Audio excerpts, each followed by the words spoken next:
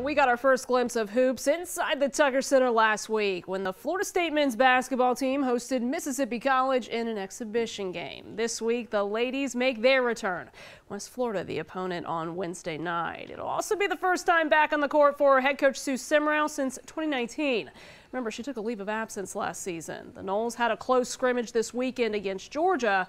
A matchup Coach Sue said was a test for them. The Noles have several fresh faces. They're anxious to get this season started and work some things out before the season really begins next week.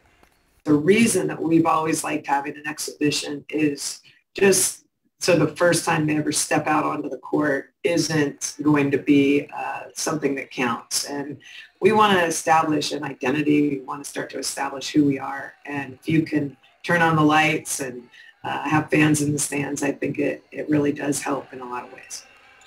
Uh, that exhibition game against the Argos is set for Wednesday at 7 o'clock.